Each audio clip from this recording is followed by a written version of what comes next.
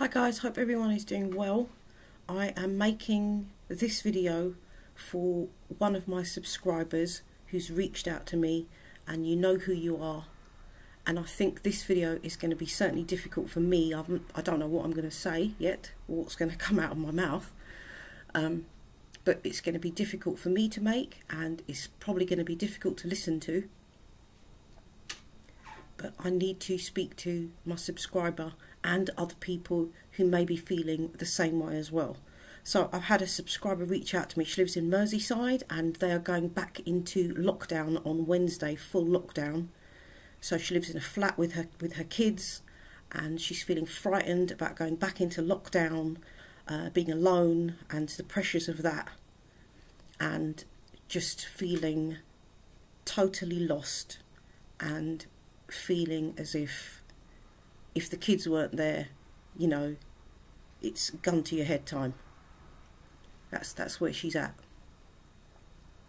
Um, there's a lot of people who are feeling like this at the moment, and the experiences of of this that I have is when I was 17, I tried to commit suicide, and thank someone up there that that didn't happen because I'd have missed so much life.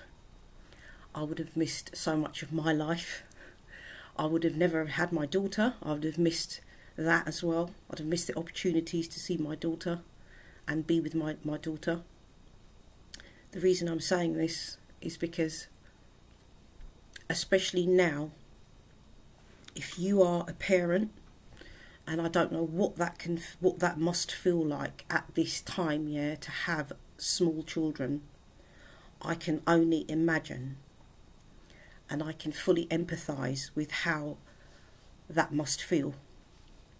Because if for adults, you know, we don't see a future for ourselves, that's how we're feeling for our children as well.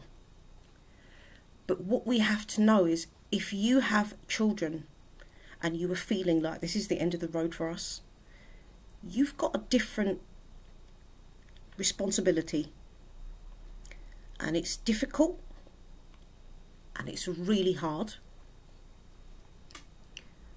But your children are looking at you.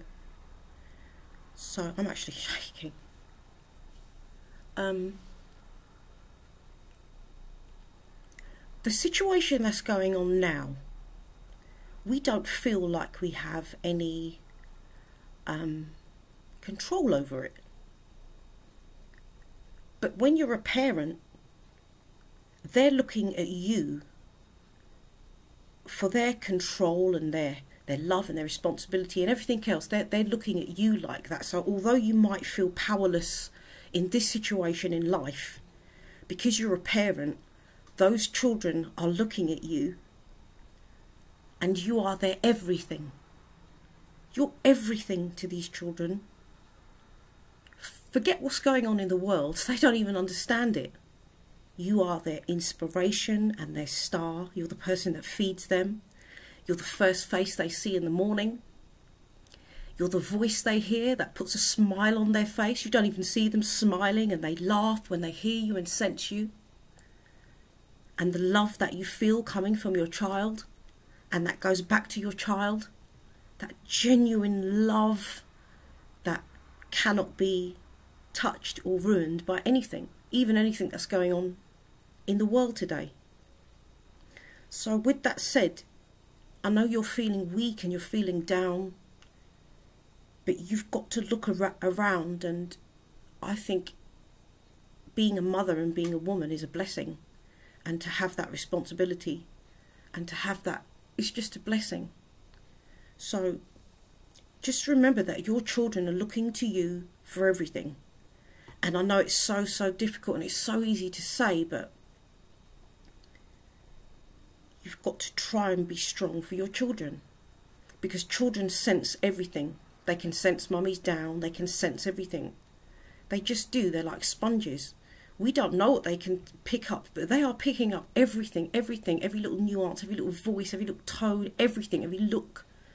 They, they, they do, they pick that up. So what I'm trying to say is, with the sadness on your heart, you just don't want to transfer that to the children. And just remember to, to to just be the strongest you can for them. And I want to say, yeah, this isn't just for people who have got children, if you're feeling like this, it's for everyone, you know. There's some places going back into lockdown. People are scared. People are, you know, people are worried.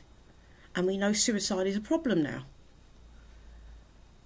So even if you haven't got children, you have to find that one thing in your life, especially now, right? Find that one thing in your life that gives you that joy, gives you that life, gives you that spark in your soul that makes you feel alive. You need that in your life now if you're feeling like this. And I'm telling you now, guys, if you're feeling like this and you are alone, okay, if you're alone and you haven't got anyone to reach out to, I'm going to say this now. I'm going to be giving out my email address and I'm working from home at the moment and I don't have any problems at all. And actually, I'd, I'd love to do this. I would love if you need some help, if you want some guidance, if you'd just like somebody to write a note to, talk to, I would love you to reach out to me.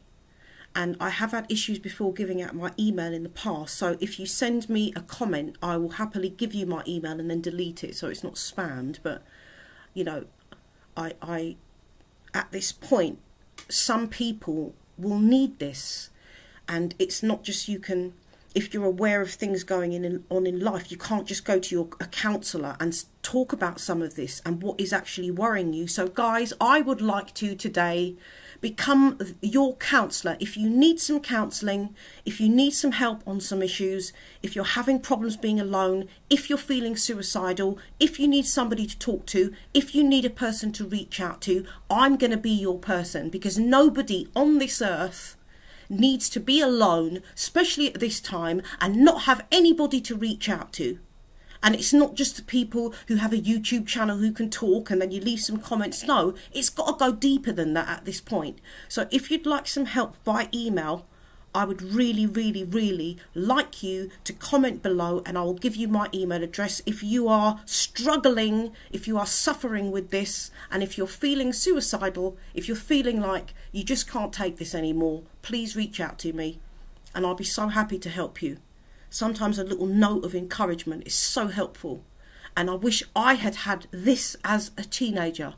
If I had had this as a teenager, a word of help, encouragement, support, I don't think I would have tried to commit suicide. Sorry, I knew I'd get emotional.